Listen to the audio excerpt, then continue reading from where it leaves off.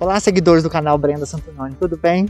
Mais uma novidade para vocês. Hoje nós vamos falar um pouco da política, mas também da educação, com o professor André Lopes Faria, do Departamento de Geografia da Universidade Federal de Viçosa. E aí eu vou tentar buscar da boca dele é, alguma análise aí da política nacional, da questão da natureza. Hoje é Dia Mundial, nós estamos fazendo essa gravação no Dia Mundial da Terra.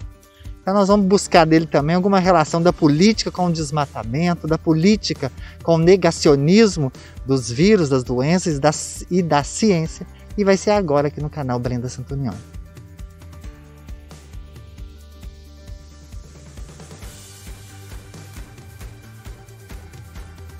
Professor, muito obrigado por estar comigo aqui no canal Brenda Santonioni.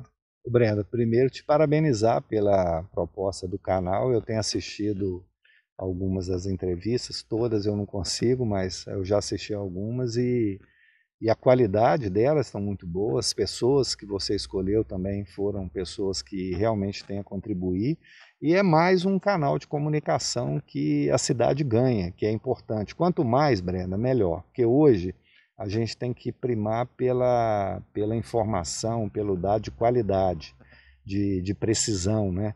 precisão só, não só no sentido cartográfico, mas precisão na origem daquilo que a gente está fazendo, na origem daquilo que a gente está falando, porque a gente está vivendo um, um período muito ruim do ponto de vista da qualidade da informação que a gente tem recebido. E eu tenho percebido também que as pessoas estão tendo pouca preocupação com a origem das informações que ela tem é, recebido. Isso tem gerado, no final, uma desinformação muito grande para a sociedade. Professor, aproveitando que você falou da informação, da qualidade da informação, o Brasil caiu no ranking aí dos jornalistas sem fronteiras, né?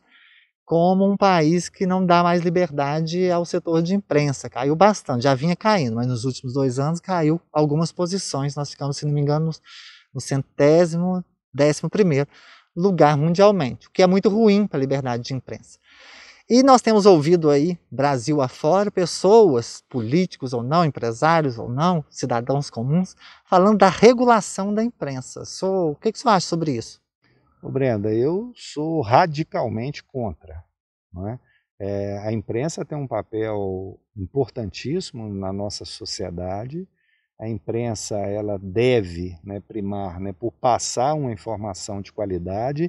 E aí um parêntese, é, Brenda, porque às vezes eu vejo muitas pessoas discutindo o seguinte: ah, eu não vou assistir TV A, B ou C, eu não vou assistir o noticiário A, B ou C. Você tem que assistir tudo.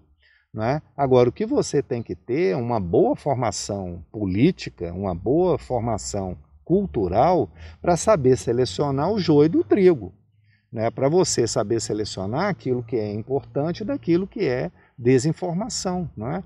Então, como é que a gente faz isso? A gente lê, a gente estuda, a gente busca opiniões diferentes para a gente poder comparar. Né? Então, a gente tem que ter esse caminho, esse caminho tem que ser construído. Eu não posso simplesmente aceitar, receber uma informação de que Fulano A, B ou C é ruim e me contentar com isso. Eu tenho que entender por que, que ele está sendo acusado de ruim. Eu tenho que tentar entender o que, que significa o ruim naquele contexto. Porque senão eu estou sendo conivente com o que está acontecendo hoje. E o que é pior, eu ainda estou propagando aquela desinformação que eu recebi. Então a imprensa ela tem que ter né, os limites que são importantes. Né?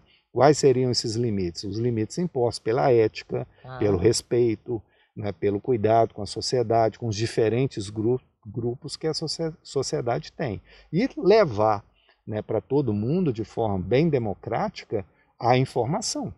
Tá, professor. E aí, é, nós estamos vendo o mundo inteiro nos rechaçar, rechaçar o Brasil, por causa da nossa política ambiental. E aí, algumas pessoas colocam a culpa na imprensa, que está falando que está desmatando demais, que é mentira, que nunca teve está tudo dentro dos parâmetros normais. É, são duas vertentes assim, da depreciação da imprensa e da política real que nós estamos tendo de preservação do, do meio ambiente que está sendo é, tá sendo depedrada pelos líderes mundiais. E agora, nossa, nessa semana que nós estamos fazendo essa gravação que está acontecendo, a Conferência do Clima, né? Sim. Que hoje que você... começou. Começou hoje. O que, que você acha sobre isso? É, imprensa, notícias e meio ambiente. É, hoje eu tenho percebido o seguinte: se a imprensa falar bem daquilo que me interessa, eu estou com ela. Se ela apresentar alguma crítica daquilo que eu interesso, eu estou contra ela. Ah, ah. Tá? Isso é, é, mostra até um, um, um, pouco esse caminho né, que eu inicialmente te, te coloquei. Então, por exemplo, hoje, como eu lido com a questão ambiental, eu fiquei muito antenado aos discursos dos líderes mundiais convidados pelo atual presidente dos Estados Unidos para discutir a questão climática. Né? E fiquei também antenado porque o nosso presidente ele é, participou, né, junto com o atual ministro do Meio Ambiente, é, dessa discussão. Então, os dados que ele apresentou, não sou eu que estou falando, não, é só você estudar e pesquisar. São todos dados produzidos em governos anteriores ao dele. Hum. Porque os dados né, que são do governo atual mostram exatamente como esse governo entende a relação com o ambiente que nós estamos inseridos. Ou seja, ele tem uma visão corporativa, ele tem uma visão empresarial, ele tem uma visão de, de não conservação, ou seja, de uso. Né? Isso é a política dele. E eu posso citar vários episódios que comprovam o que eu estou falando, para a gente também não ser acusado de estar tá falando né, coisas que não existem. Então, por exemplo, na reunião ministerial que o próprio ministro do Meio Ambiente fez parte falou, ele falou: vamos aproveitar o período da pandemia para a boiada passar. Ah, tá. O que, que é a boiada passar? São os garimpos que estão invadindo áreas indígenas, que merecem todo o nosso respeito e atenção. Sim.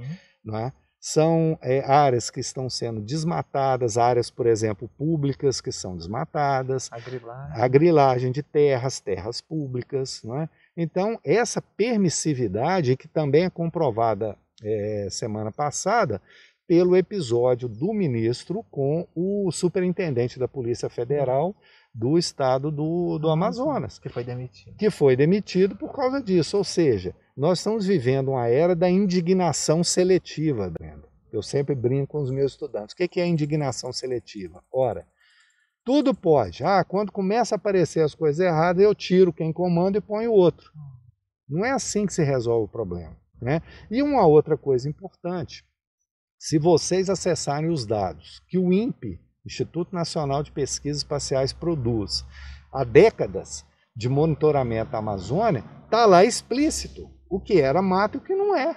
Fato, né? É fato, está lá comprovado tudo sendo feito com imagens produzidas de satélite, de tecnologia brasileira é. e, por exemplo, chinesa. Aí vem a grande briga com a China, com a China. o que é uma grande besteira. Está custando caro. Né?